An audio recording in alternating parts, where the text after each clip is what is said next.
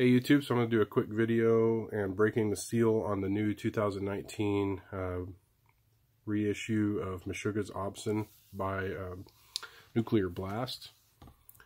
I got the black vinyl version and this cover is awesome as you can see but um, these came from the uh, 25 years of musical deviance box set that came out a few years ago, which ironically was my first video on the channel. So if you want to check that out, um, yeah, feel free to check it out. It's a really cool box set. But it looks like um, Nuclear Blast has went ahead and individually released these um, here in 2019.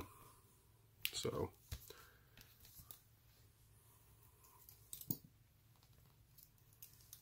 I also purchased a Nothing Catch 33 and Koloss. And you can watch those videos um, on my archives as well. I chose black simply for the fact that I have had some bad luck with colored vinyl where it just didn't sound very good.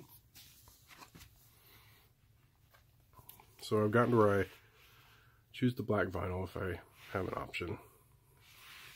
Very cool gatefold.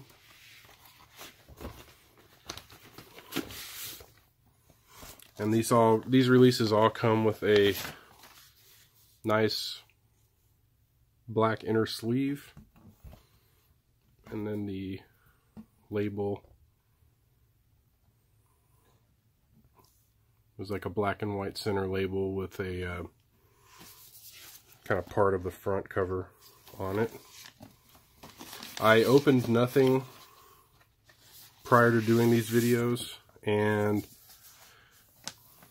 listened to it already and I think it sounds really good. I think actually, I, I, I don't know if it's the black vinyl or if it's just, I, I don't know what the difference is, but um, I feel like it sounds better than the, uh, the box set that came out a couple years ago. So for what it's worth, these are definitely good. And uh, they, they're still available. I'll post the link in the uh, comments below. But uh, you can still get these. And I think you can even get the variant wax colors as well. But uh, really cool covers, really good reissues of these albums. And I highly recommend if you don't have them on vinyl format to pick them up. And check out my other videos for uh, Nothing and Catch 33. And I appreciate y'all watching.